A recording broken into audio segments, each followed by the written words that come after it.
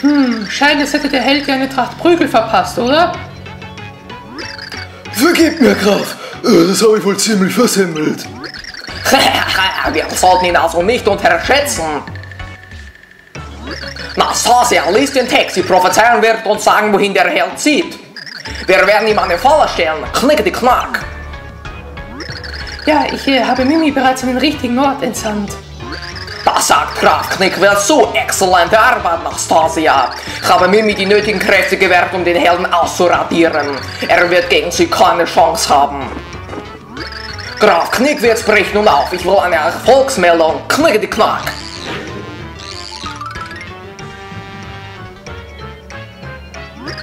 Ich werde direkt eine Memo verfassen, aber da gibt es noch etwas Wichtiges.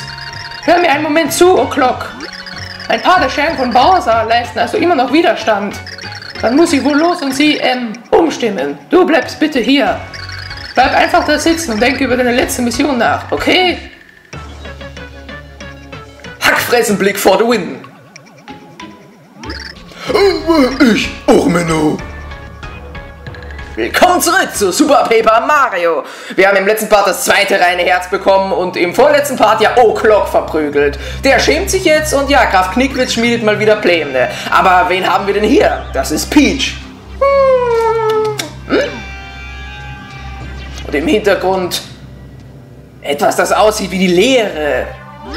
Hm, wo bin ich? Wieso wache ich hier auf? Sekunde, hat dieser Graf nicht versucht, mich zu heiraten?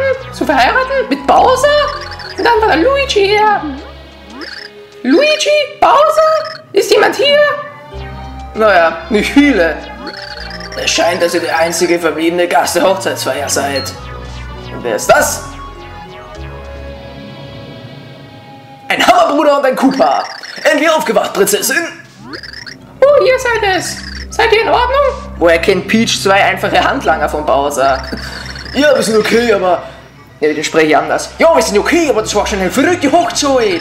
Wir können nicht mal den Bräutigam finden. Ihr erinnert euch? Bowser? Oh, und dieser Typ mit dem Bart, hat er nicht einen grünen Anzug an? Ja, El Luigi, das ist der Typ. Keine Ahnung, wo er abgeblieben ist. Leider hat die Assistentin von diesem Knickwitz die meisten von uns Lakaien einer Gehirnwäsche unterzogen. Die sind fast alle komplett durchgedreht. Ja, Anastasia will ja jetzt auch die beiden umstimmen. Ja, das meint sie also mit umstimmen. Hier, hier ist es in jedem Fall nicht sicher. Wir müssen hier raus. Möglichst jetzt. Ja, mal wieder reden die zwei irgendwas, was man nicht verstehen kann, so wie es schon in Paper Mario 1 der Fall war. Salat Cooper wird als eure Eskorte fungieren. Okay, versucht zu entkommen. Und was willst du tun? Was ich machen werde, das kann ich euch verraten. Ich helfe meinen Männern. Bowser würde mich in einen Haufen Asche verwandeln, wenn ich mich aus dem Staub machen würde. Kein Cooper wird im Stich gelassen. Viel Glück, Prinzessin. Viva Bowser! Keine schlechte Einstellung. Lebe wohl. Okay, Prinzessin, wir müssen uns auf den Weg machen. Los geht's! Ja, wer sich wundert, warum ich den Cooper oder generell einige Charaktere im Paper Mario Universum so spreche, das hat was zu tun mit Grobia, ein Charakter aus dem Film Drachenzähmen leicht gemacht. Der hat so gesprochen und das hat mich dazu verleitet, einige Charaktere im Paper Mario Universum so zu synchronisieren. Du da, gib auf, du hast keine Chance zu entkommen. Ich glaube, das ist Natasia, oder? Nein, das sind einfach Koopas. Lang lebe der Graf, widersetzt sich nicht. Oder wirklich seinem Gesetz, du wirst es leben. Ungehorsam, Schulze, ich bin der Leutnant, auf dem Boden und 20 Liegestütz. Weißt du was? Deine Befehle zählen hier gar nichts. Ja, ihr merkt, sie Cooper mit Brille waren ja in Paper Mario 1 und 2 die Bösen. Und in dem Spiel sind das die, die hirngewaschen sind. Also, technisch sind auch die Bösen. Da Bowser's Schergen ja diesmal auf unserer Seite sind. Siehst du, sie haben dem Grafen bereits ewige Loyalität geschworen. Und jetzt bist du an der Reihe. 10 Uhr Hirnwäsche. Passt dir das? Ihr habt euch mit dem falschen Cooper angelegt. Ich diene nur Bowser. Du kannst diesem Graf sagen.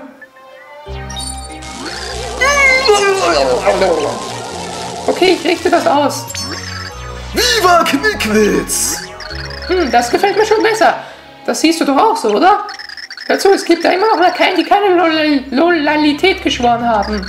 Ein gutes Hündchen und treib sie für mich zusammen, okay? Danke. Jawohl!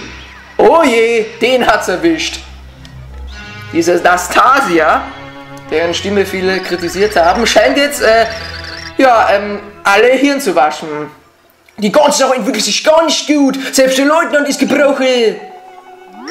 Wenn die uns finden, ist alles aus. Wir müssen weg und das ist ein bisschen hurtig. Ja, wir spielen jetzt mit Peach. Die hat die Fähigkeit, hier mit ihrem Schirm so schön zu schweben. Großer Kronleuchter. Wir sollten echt möglichst abhauen. Möglichst in die andere Richtung, wo die dahin gegangen sind. Und der Cooper könnte auch mal ein bisschen Stoff geben. Was meint ihr? Jetzt geht er außerdem nach rechts. Cooper, Cooper, Cooper. Okay, Graf Knickwitz Schloss ist scheinbar nur schwarz-weiß. Ihr merkt immer nur so schwarz-weiße Umrisse überall. Und im Hintergrund die Leere. Befinden wir uns hier vielleicht in der Leere? Das wird sich später im Abenteuer noch rausstellen. Schnell, hier scheint es auszugehen. Gib Stoff, Peach. Na gut, hat sie Stöckelschuhe an? Naja, kann man hier bei Paper Mario nicht sehen. In Super Mario 3D World hat, konnte man sie sehen. Neun! Neun! Große! Wieso bleiben wir uns nicht helfen? Wir sollten lieber weitersuchen.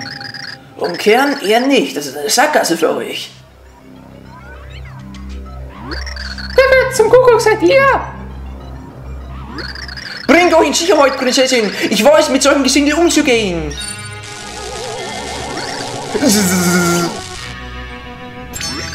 Long lebe der Graf! Hat ja super funktioniert. Das ist ein Glückskind, Prinzessin, diese Hochzeitsexplosion zu überstehen. Aber hier ist Endstation, euer Glück hat euch verlassen. Es wird Zeit, sich uns anzuschließen. Kommt und dient den Grafen. Niemals! Na gut, dann muss ich euch wohl doch, äh, Hypnokräfte einsetzen. Einfach ganz ruhig bleiben, okay? Ich muss doch schnell die Gehirnwäsche durchführen. Naja, was soll man in so einer Situation machen?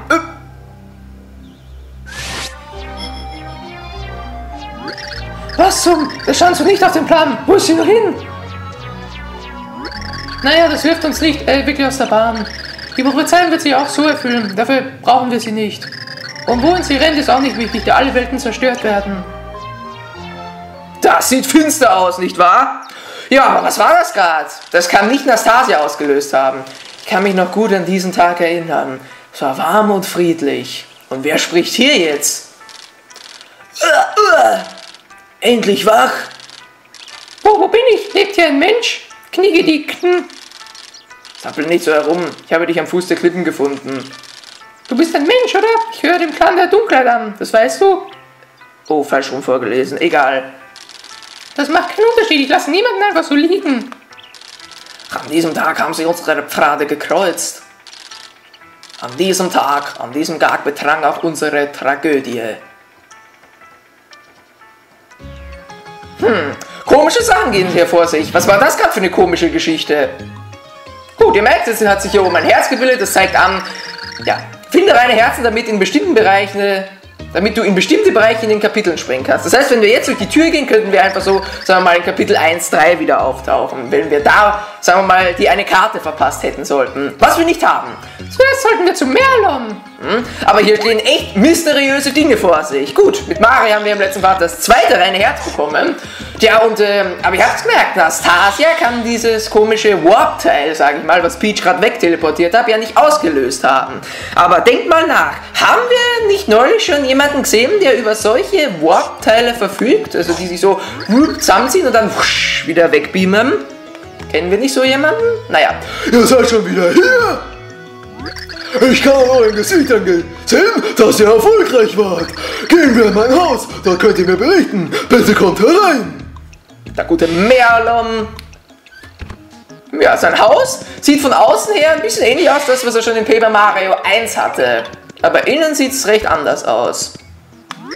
Nun, werte Freunde, habt ihr ein reines Herz gefunden? Ist das hier eigentlich ein anderer Merlon? Das kann ja nicht der gleiche sein wie in Paper Mario 1 und 2. Oh, welch Glanz! Das ist für wahr ein Teil des reinsten Herzens! Im letzten Part gab es ja auch diese Merlumina, genau. Ja, wir haben Merlumina getroffen. Sie hat es uns gegeben. Was? Lady Merlumina? Sie ist eine meiner Vorfahren. Merlumina und die Erfolgen errichteten diese Stadt. Ihretwegen sind wir hier. Meister Merlon, sch schlimme Neuigkeiten. Die Durchschnittsfresse. Was ist los? Beruhig dich erstmal. Also.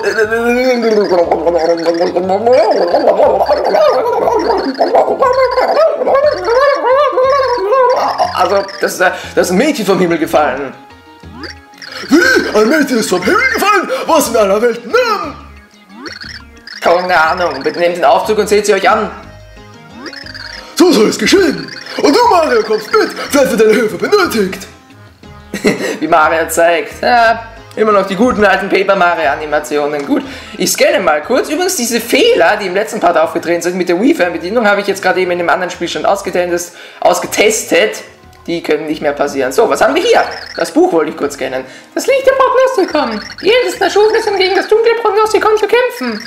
Es beschreibt genau, was der Held tun muss, um die Welt zu retten. Ja, wir haben ja schon oft von diesem Gegenstück erfahren und hier steht es einfach mal bei Merlon. Während das andere Graf Knickwitz hat und welches auch die ganze Zeit zusammen mit Knickwitz wegteleportiert wird. Gerade vorhin, als Graf Knickwitz sich wegteleportiert hat, per Mauszeiger will ich schon fast sagen, da hat er ja das Buch auch mit sich wegteleportiert. Erinnert ihr euch? Ich benutze das Wort teleportiert überraschend oft in diesem Let's Play, nicht wahr?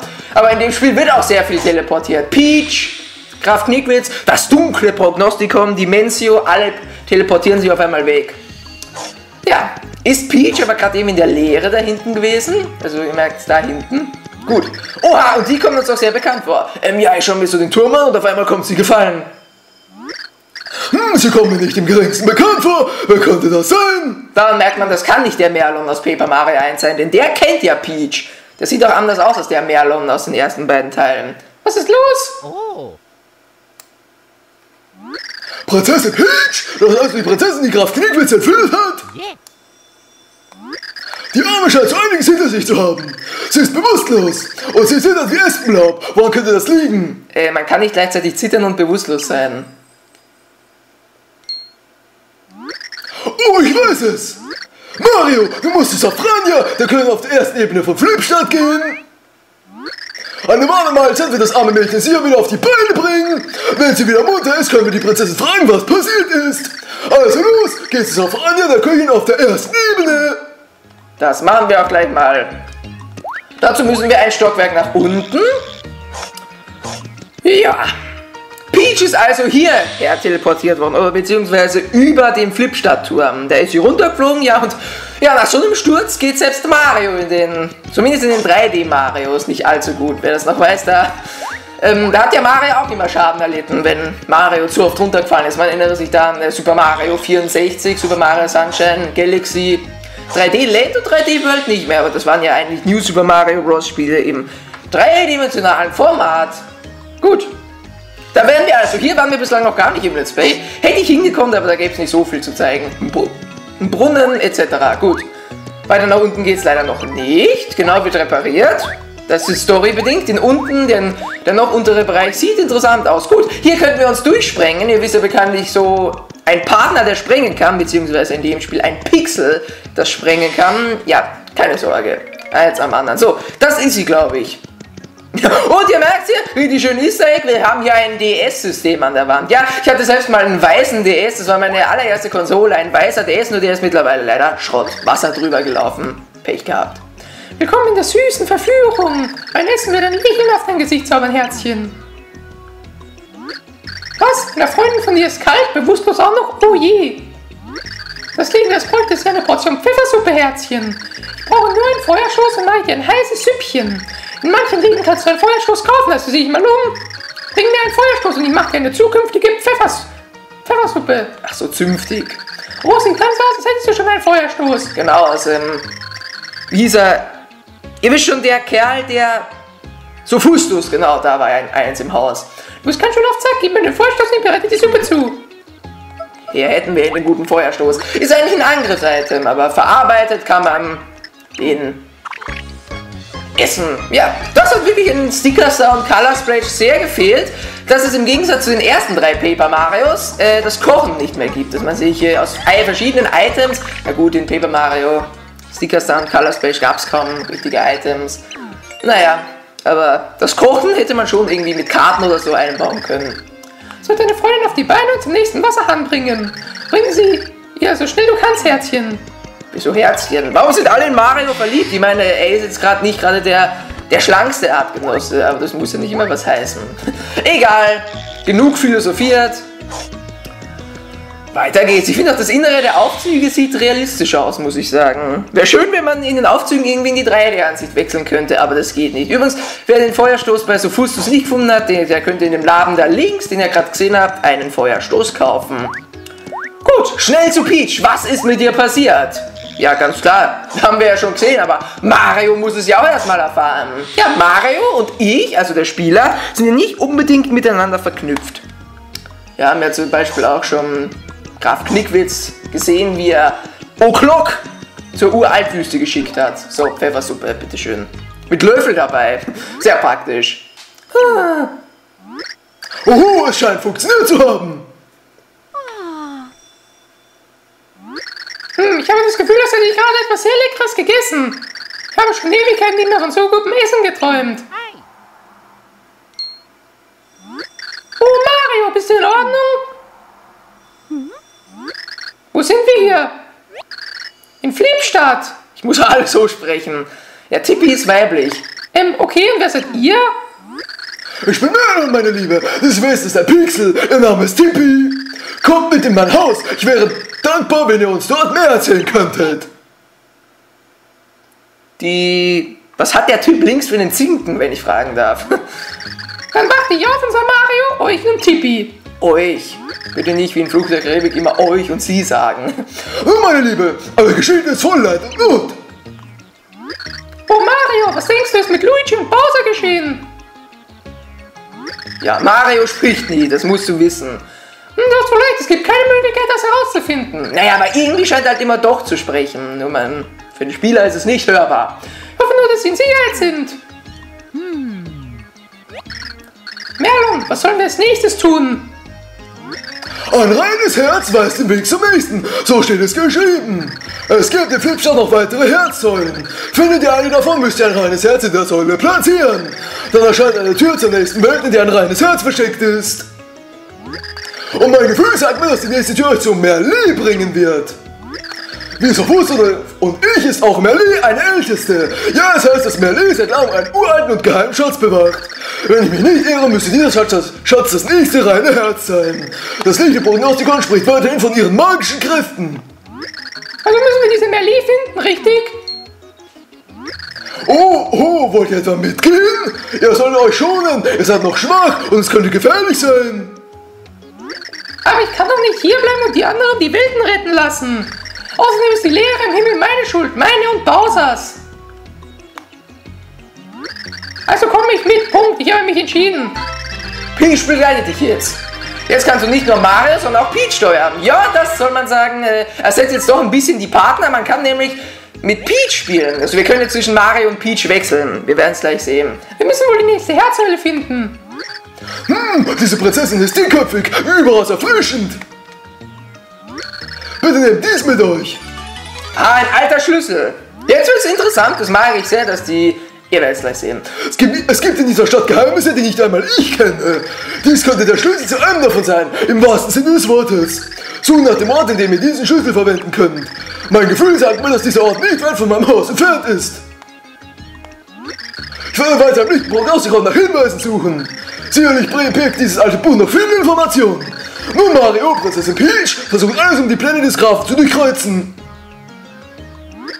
Also los, Mario, komm, Tippi. Genau, und jetzt, ihr werdet sehen, können wir mit Peach spielen, so wie wir es gerade eben schon getan haben. Genau, mit ihrem Schirm. Ja, und der Charaktere so wunderbar. Ducken ist auch möglich mit dem Schirm, damit können wir Gegner abwehren. Ja, das ist echt eine gelungene Abwechslung. Aber mit Peach, ich drücke gerade auf den A-Knopf, mit Peach kann man leider Gottes nicht in die dreidimensionale Ansicht wechseln. Dafür brauchen wir weiterhin Mario. Und genau hier geht's weiter. Ich liebe das, wenn in der Oberwelt so Secrets versteckt sind. Hat man in Color Splash eigentlich auch nicht schlecht hinbekommen. Ja, aber echt, ich liebe sowas, wenn wir jetzt auf einmal hier zum Beispiel eine Ebene, sage ich mal, vorkommen und auf einmal hier landen. Also, so kleine Details verfeinern einem schon manchmal das Spiel ungemein. Gut, hier geht's jetzt weiter. Ja, hier müssen wir erst eine Möglichkeit finden, diese Blöcke loszuwerden. Ja, wem die Pixel nicht genug sind, der hat Peach. Und später auch noch Bowser und Luigi. Das dürfte kein allzu großer Spoiler sein, sondern mit den beiden später auch spielen kann. Das wurde ja, glaube ich, auch, ähm, stand da ja auch eine Verpackung außen drauf, oder? Ich glaube schon, aber ich bin mir gerade nicht so ganz sicher. Aha, ja, hier. Diese Säulen, die werden später auch noch interessant. Aber jetzt mal vorerst die nächste Herzsäule suchen. Ja, ich kenne das Spiel, vor allem die Oberwelt hier, die bin ich ja tausende Male irgendwie nach Secrets abgesucht, habe nur äh, allzu selten eins gefunden. aber hin und wieder halt schon eines. Es gibt hier doch das ein oder andere Secret, wie auch im nächsten Bereich unten. Ja, und es fällt mir ein, dass Flipstadt größer ist, als ich sag mal Toad Town oder Ohlingen. Ja gut, deshalb könnte man wie die Katakomben in Rohlingen gelten lassen. So, wer denkt, dass man hier unten ein Leben verliert? Nee, nee, das Secret hier habe ich erst sehr spät entdeckt. Hier hätten wir nämlich zwei seltene Karten, nämlich zum einen mal mehr lieblich, mehr Lee, um das mal kurz zur Sprache zu bringen, hatten wir ja auch schon. Ja, und hier Merlon, beide als Karten. Super. Äh, Merlee gab es ja auch schon in Paper Mario 1 und 2. Das war die, die, wer sich noch erinnern kann, äh, Moment, so. Hm, nicht immer krieg ich diesen Stylish Move hin. Hey, hey, du kommst nicht weiter, versuch es mit Drehen. Ja, da hat man schon den, den brauchenden Hinweis, um weiterzukommen. Das orientiert hier zum Pfeiler steht, ja, hier schön, wunderbar. So ein Schild steht, hey Held, da hinten sehen wir schon die nächste Herzsäule, da müssen wir hin und ihr merkt schon, da brauchen wir Peach mit ihrem Schirm. Hat ein bisschen was von Super Mario Bros. 2, da konnte man ihren Rock ja auch schon benutzen, um zu schweben und so. Ja, super. Am höchsten Punkt! Nee, funktioniert nicht immer. Am höchsten Punkt A drücken. Ja, wie bereits erwähnt, muss nicht immer funktionieren. Ich finde die Idee, dass man mit Peach, Bowser und Luigi spielen kann, aber richtig genial. Das war eine wunderbare neue Idee. Luigi kann halt auch höher springen und Bowser Feuer speien. Eh ein bisschen ähnlich wie in Super Mario Bros. 2 und Super Mario 3D World, oder? Ja, und Peach mit ihrem Schirm so fliegen. Super. Das ist eigentlich auch aus Super Princess Peach. Peach hat ihr eigenes Spiel auf dem DS, das habe ich früher geliebt. Das war eines meiner ersten DS-Spiele. Ja, und da konnte Peach auch schon mit ihrem Schirm so fliegen. Ja, und Merlee war halt in Paper Mario 1 und 2 die, die die ganze Zeit diesen Kartenzauber beim Kämpfen gemacht hat. Da es in dem Spiel kein Kampfsystem gibt, ähm, hat man Merlee anders einbauen müssen. Aber ich finde Merlees Rolle in dem Spiel richtig gut. Aber das können halt auch nicht die gleichen Ältesten sein wie in Paper Mario 1, weil die halt in dem Spiel alle anders aussehen und zudem auch Mario und Peach nicht kennen. Das heißt, das kann gar nicht sein, da ja Paper Mario 1, wo die ja auch alle größere Rollen hatten, ähm, ja, ähm, im Pilzkönigreich gespielt hat. Und das kann ja auch nicht sein. Also, das sind scheinbar nicht die gleichen Charaktere, die wir aus Paper Mario 1 kan kannten und liebten. Naja, nicht so schlimm. Aber das Secret da unten war, war nicht ohne, oder? Dass man einfach mal so runterrennen, runterjumpen muss, Banzai-mäßig. Aber ich kenne es. Ich kenne mich recht gut aus. Die meisten Secrets blieben mir echt in Erinnerung. Ja, das ein oder andere Detail in der Oberwelt habe ich vielleicht vergessen, aber... Naja, ich kenne das. Ja, Außenbezirk. Ja, ja, Bezirke. Ja, die, äh, von Wien kann ich die Bezirke auswendig, die 23. Das hat mir mein Opa immer eingepaukt. Naja gut, jetzt könnten wir jedenfalls zu Kapitel 2. Aber erst im nächsten Part. Gibt es noch irgendwas Kurzes zu sagen? Ich überlege gerade, ich überlege gerade. Hm. Ne, ich glaube, ich habe alles gesagt. Wenn nicht, dann werde ich ähm, im nächsten Part, falls ich irgendwas vergessen habe zu erwähnen, noch dazu sagen. Gut, mit Peach bewaffnet geht's dann also ins nächste Kapitel. Schön, dass Peach endlich mal nicht immer nur schreit, help me, sondern auch mithilft. Tschüss.